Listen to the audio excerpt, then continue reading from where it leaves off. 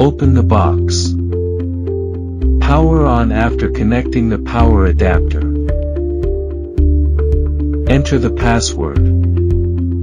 Part 1 Analyzer Quality Control Take out the quality control cassette.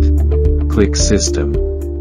Select QC. Select Analyzer QC. Click Add QC Parameters. Input the QC parameters.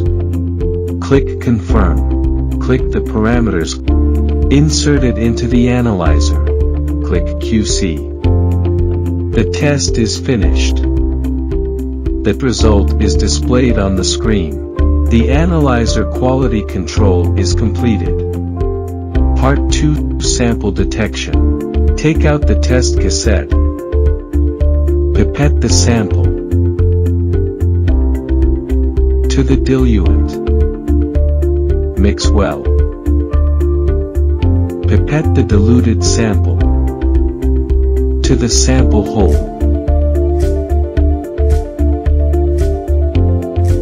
Click Test.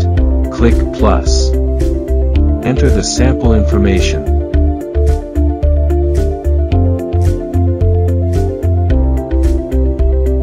Click Confirm.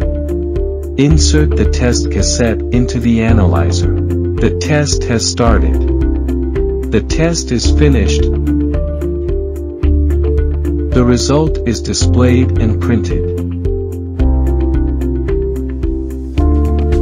The sample detection is completed.